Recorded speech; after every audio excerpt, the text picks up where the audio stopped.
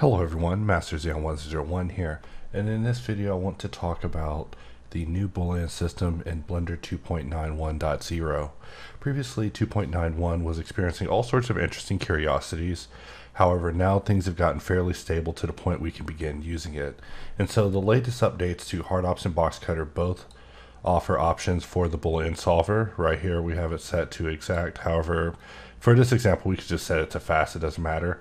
And we can press Control tilde and go under the bool options and we can actually set the algorithm here if you're using 2.91 to use either fast or exact. And the benefits of using exact are pretty straightforward. We'll just duplicate this cube and select both of them, use Q and union them together and do it again. And this is normally something that would never be possible in the previous versions of Blender without issues happening with booleans because of issues with coplanar merging. But whenever Howard was working on this, this was one of the uh, most basic tests I would do with booleans to just kind of test it. I would try to just merge a series of cubes all together. You know, seems real simple, but it is a real easy test to replicate. But also, you know, looking at it all together, union together to be a manifold shape is just something magical. So let's say that we want to take this to the next level, right? We press Q and we put a bevel on this. We see that, you know, everything kind of works out except the first cube shaded right, but the rest of the cubes just aren't receiving their shading. So what we can do is just press Alt H and unhide everything, jump to the second collection here, and we'll just control tilde and just shade smooth on it. And now we actually are somewhere good. If we press Alt V, we can look at the wireframe. This is what our wireframe looks like so far on this mesh. So if we wanted to kind of simplify this, we could press Q and go under add modifiers and just put a decimate on it. And now it's actually cleaned up and we'll just drag that up above the bevel because we have our modifier panel. And now if we just go through our modifier scroll, you can see this come to life. And that is the new Boolean system in action. It's pretty magical. And this is just a very basic example.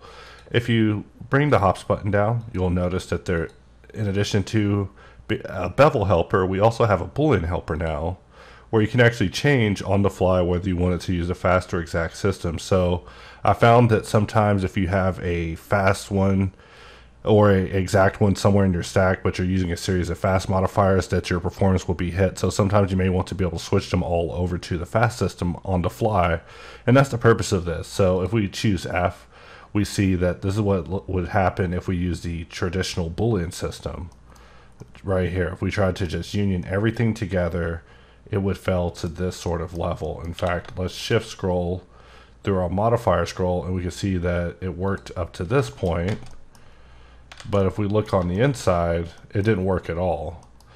And the difference is pretty clear. Once you get in here and change it to exact, we can see that interior face just disappear. And so that's the basis behind this this boolean update and us doing this update for hard ops to allow for people to switch between on the fly because sometimes you'll want to use this and sometimes you won't. For example, right now I'm about to do a cut with box cutter and we see that, you know, the performance got pretty heavy there. In fact, we put a weight normal on top, so now we have a few more modifiers in the mix to get our shading just right. And next time we perform that cut, we can see this just a little bit heavier. In fact, let's change this over to exact, and we see that whenever we perform a cut, it just becomes completely, well, now it makes a full of me, so we'll just continue cutting. Everything so far so good. We'll just add another bevel level on top of that, and we'll perform another cut. And we may get in here and adjust that level of bevel. And you can see that as I begin to bring it down, it begins to get just a little bit heavy. And this is expected whenever you're just sitting there on the exact system without any sort of planning or intention. I mean, right now, Boxcutter isn't set up to basically use exact booleans. However, it is just a matter of us going in and messing with the offset in order to do so. But it really isn't necessary in order to perform quick little cuts because the Z fighting is still something that I still contemplate on how to get rid of visually. You know, it'd be nice if we could detect Z fighting visually and just eradicate it because, you know, the alpha hit a certain thickness, but you know, these are just the sort of things that I'm pondering. But we see that with every subsequent cut, it just gets slower. In fact, I'm sometimes waiting a few seconds after the cut in order for it to go through. I'm sure there's also people out there that are like, what's going on with this guy's pink wireframe? It's visible, and I like it. You know, also um, breast cancer awareness. But continuing on, we'll just scroll a couple of bevels in this where it's just completely choking out, making this i9 look like an i3 or an Intel Atom or something tragic. You know, we have to use spacebar in order to apply it. Of course, we can always go into pause mode where it's just good. We just draw it, and then the hit for speed actually comes at the end of the operation. And there's been a lot of work done to Boxcutter in order to make sure that this works at the end of the operation exactly as it's supposed to. There were previously a couple of bugs that forbid it from working entirely 100%, but I'm now happy to report that pause mode is now just as good as it's supposed to be. So, what if I did actually want my speed back and I wanted to continue to work? I mean, you know, I'm working with multiple levels of bevels here, so I don't want to begin using a coplanar modeling just yet, but how would we do that? Well, I would say your best friend in this case would probably be the simplicity of Smart Apply. Let's look at our modifier stack here. Even though I'm complaining about speed hits, this is still a pretty good modifier stack. And if we look at our modifiers in terms of exact, exact, exact, fast, exact, exact, exact, we have a lot of exact action happening here and we're still able to work pretty good. So, you know, I was actually preparing to do this video and complain a lot more, but things are actually a lot better than I was expecting. In fact, if we just were to change everything over to fast, we see that this match is over. It, hashtag it's over party. But we change it back to exact, we're going to get the intended result, but the speed head is just going to be too much. And we're in pause mode, so we're still able to work. But if we were to go back to live mode and attempt to work in live, because everybody wants to be live, we see that this is no way for a man to live. So how would we get this speed back? Well, for me, that is where I would use Smart Apply. So we press Q and we use Smart Apply. Just look at my modifier stat get cleaned up over here. And now when we perform our next cut, there we are in pause mode, looking good. But here we are in live mode, also looking very good with our speed brought back to us. So sometimes whenever things get a little bit choky, you have to break a few eggs. You have to really look at your model and analyze and you know, ask yourself, hey, is this a point in which I do want to apply and keep going? Am I truly content with this level of modeling? Which is something that I also find myself struggling with. You know, you often want to keep the block in all the way until the very end, but you know, sometimes you just gotta let iterative files handle that instead of uh, trying to handle it all at once. But you know, these lessons, I guess, are best learned in action instead of being told through a tutorial video. So continuing on I believe that gets the point across about the differences between the new Boolean system between fast and the exact system and how you can use it on the fly with box cutter and HardOps, in addition to a few tips on how to get your speed back. So with that, I'll wrap up this video and I'll see you guys next time. So over the course of this video, I showed a little bit about how I play with the new Boolean system in action. Uh, since I still have it enabled by default with it being exact, Another way I like to test it is I'll shift A, add a cylinder, and instead of scaling things around, we'll just move the cylinder off to the side, press S, Shift Z, and we'll just go into edit mode and press Alt Z to see through it, and press B for box select, E, X, SX, 0. We press R, 4, 5 in order to just rotate this 45. So everything's still the exact same scale. We'll just select both of these and union them together and it almost works out. And more than likely, the reason that it failed is because of all the supplemental geo that's in the middle. I didn't bother cleaning it. So if we go under operators and just choose to clean the mesh, we see that we get a more desirable result. So I find that with the new Boolean system that it definitely excels a little bit better whenever you give it simplified geometry versus just throwing everything at it at this time. We'll press Alt X and just mirror it across on the X by shift clicking this keeping the mirror tool active and then we'll just mirror it to the other side. And here we are just with our simple shape. And continuing on just messing with this, we can use our mod scroll to bring the shape back. And because we have an origin, we can shift S, snap our cursor there, and just place our cylinder and S, shift and Z to scale on everything but Z. And we'll just select both of these and perform a difference. And we see that it almost worked out, but we'll just press SZ, give it a little bit of overshoot. And we see that some rules just have to remain. In fact, if we go in our Boolean drop down, we see that both of these are exact. However, I had to overshoot it just a little bit in order to get this to work. And that's just one of the things that's just par for the course whenever it comes to using the Boolean system uh, in 2.91. You may run into occasional bugs with it, but these are things that, you know, best are reported to the thread in order to, you know, keep Howard improving this thing. But I'm still very optimistic for the future of what this thing offers. So I want to end this video showing just another case in which I use it in action.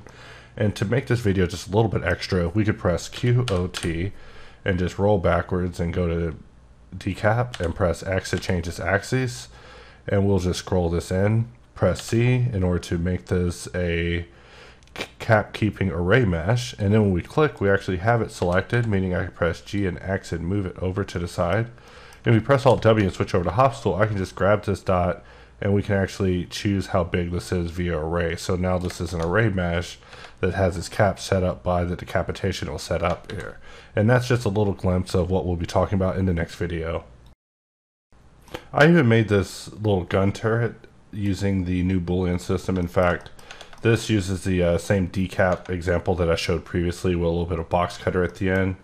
In fact, if I were to take this in local mode and shift scroll through modifier scroll, you can see the uh, modifiers and booleans that have made up this particular shape and how it was put together. Same with this piece, you know, while it looks complex, it was just a matter of me playing with custom bevel profiles, I have a whole video about that, and using just a little bit of box cutter and some of the classic tricks of uh, line box to just get in there and cut. I do plan also to do a video recursively talking about some of the new features of HardOps like the wire display that shows up in modifier scroll.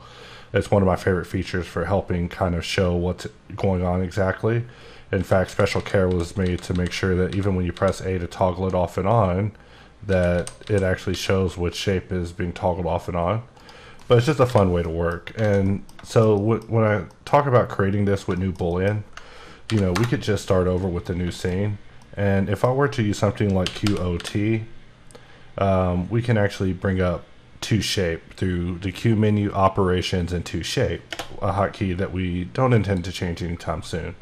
But in the latest update of to shape, you can now change your shape over to different shapes like cylinder and then control scroll in order to offset which side that you're placing it. So here we are just placing a cylinder just directly on the other side of this cube. We select both of these, press QOT again, and now we have a cube that's the exact same size and we're just rolling it around and we're placing it on the side of that. We select both of these, press QOT, and we press spacebar and we go to a cylinder and we will just place that here. We select this again and we press QOT and we'll just place this box at the end. And notice that the origins are always placed right where it's first connecting so that way if we wanted to scale this down we could press S and X, we could press S and Y, we could just bring this back as far as we need. We can just slide this in just as far as it's needed for whatever we're going for. We select both of these. You know, I'll select this one first, select this one, press Q. We'll union them together. Press 1 to go to my default collection. I need to probably take a drink of water. You know, we'll take this opportunity to press QOT. We'll uh, press spacebar and jump to a cylinder. And we'll just scale that down, press S and Y, bring this out, and select both of these, perform a difference.